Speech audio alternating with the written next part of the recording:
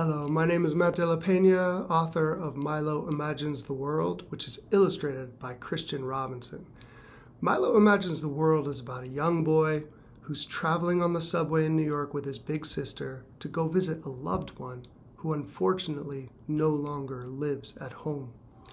Along the way, he's feeling anxious, so he pulls out his pad of paper and starts drawing the people around him. He looks at their faces and tries to determine, based only on their face, where they're going. Do they have a family waiting for them? Are they wealthy or poor? He ends up finding out that maybe you can't know too much about a person just by looking at their face.